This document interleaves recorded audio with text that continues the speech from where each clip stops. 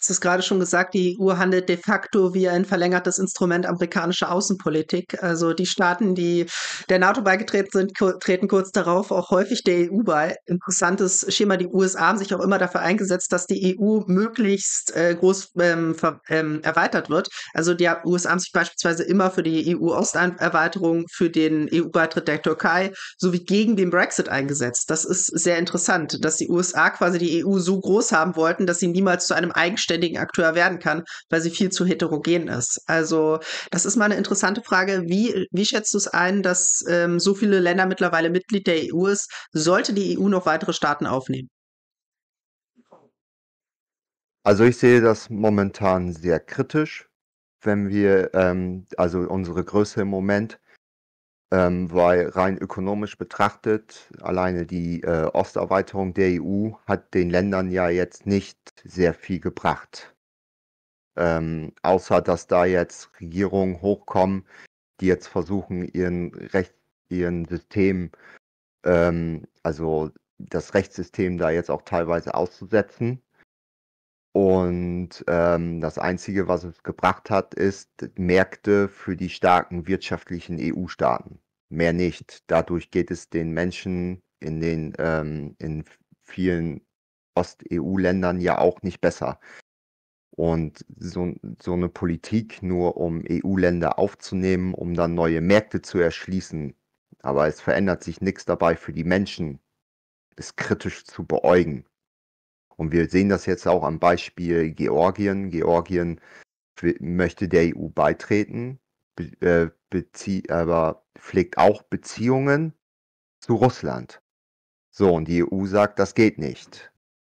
Ne? Und da ist ganz klar, da will man Machteinfluss, da will man Markteinfluss haben und versucht dabei ähm, wieder andere Staaten wegzudrängen.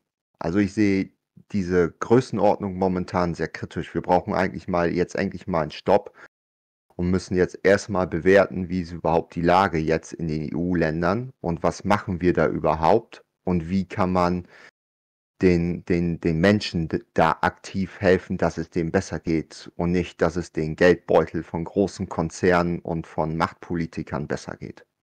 Ja, du hast da gerade viele Sachen an, angesprochen. Also zu Wirtschaftspolitik innerhalb der EU kommen wir vielleicht gleich noch. Aber ähm, das andere, was ich gefragt hatte, da fordert das BSW ja tatsächlich ein Moratorium für weitere EU-Erweiterungen. Also die EU, die ist jetzt schon zu groß und auf die Schnelle noch weitere Länder aufzunehmen, das wäre auch für diese Länder nicht unbedingt von Vorteil, wie du ja gerade richtig erläutert hast. Aber du hast vorhin angesprochen, dass äh, einige osteuropäische Staaten ihr Justizsystem beispielsweise umbauen. Aber das ist ja was, da sollte die EU doch eigentlich nicht nicht reinregieren, oder? Nee, da sollte sie nicht reinregieren, weil es ist ja auch eine Folge der EU-Politik, dass ähm, Staaten praktisch ähm, da, wo sie alleine agieren können, ähm, nicht alleine agieren dürfen, wo die EU dann auch reinredet. Und dann wird es in der Bevölkerung und auch in der Politik führt das dann auch zu einer gewissen Spaltung. Ja, äh, ich sehe einige Sachen auch kritisch, wenn Rechtssysteme umgebaut werden, ähm, wenn mit, mit, mit äh, in Polen zum Beispiel sehe ich auch kritisch. Ähm, aber das ist eine Folge dieser EU-Politik, dass man versucht, äh, sein eigenes Ding auf einzelne Staaten draufzudrücken und Sachen, die man selber in der Hand hat. Und das ist eine Folge der Sachen, die da gerade passieren, zum Beispiel auch in Polen. Was ja auch ganz interessant ist, ähm, jetzt, wo der neue polnische Präsident da ja auch an der Macht ist, komischerweise wird das nicht wieder geändert. Also ich habe es noch nicht gehört, dass das geändert wird. Aber jetzt ist ja ein EU-freundlicher Präsident da an der Macht, dann hält man sich natürlich mit der Kritik zurück.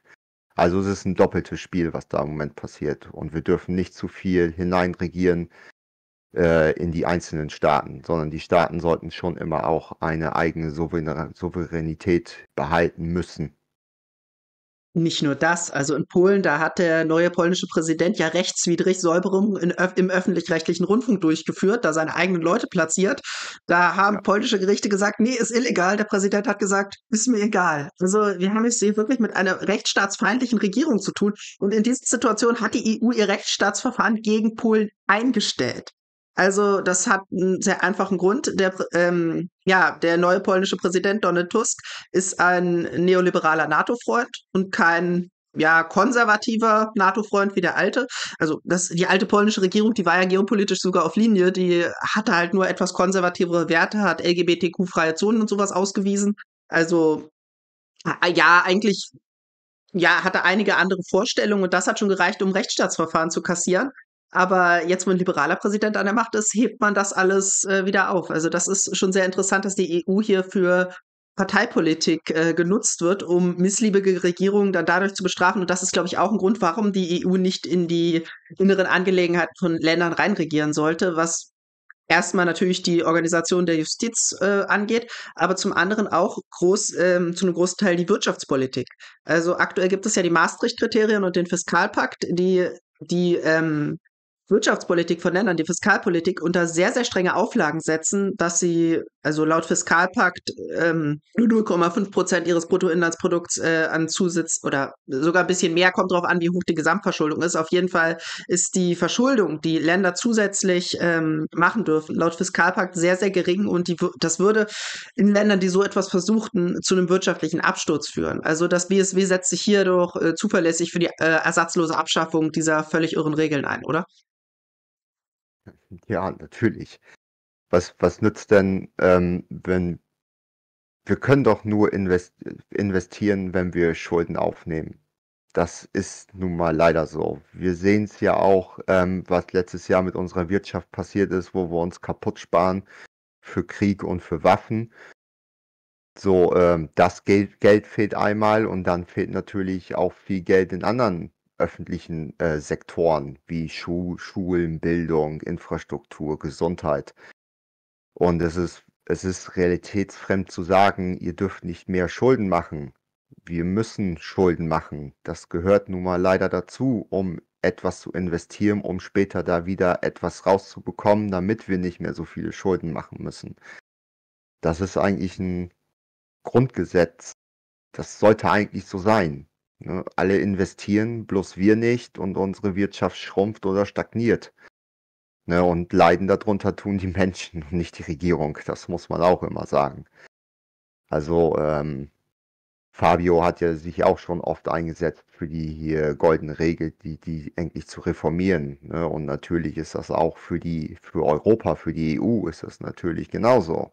Ja, das sind zwei unterschiedliche Ebenen. Du sprichst gerade die ja. Schuldenbremse im deutschen Bundes, äh, im deutschen Grundgesetz an, die tatsächlich vom Fiskalpakt ähm, inspiriert ist, sage ich mal. Auch seltsam, dass man da sowas dann ins Grundgesetz schreiben ja. muss. Eigentlich ein Missbrauch unserer Verfassung für ideologische neoliberale Ziele hier.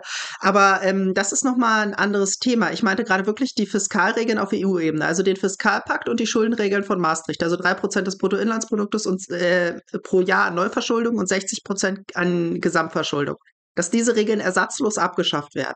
Also da haben wir von dir gerade äh, gerade Wort, dass sich das BSW dann in Brüssel dafür einsetzen wird. Ja. Gut. Das steht auch so in unserem Wahlprogramm. Dass wir für eine vernünftige Wirtschafts- und Finanzpolitik steht. Und ähm, solche Regeln sind natürlich äh, ein Todesstoß für ganz viele Staaten, wenn sie nicht weiter investieren können und ihren, ihre Sektoren weiter aufbauen können klar.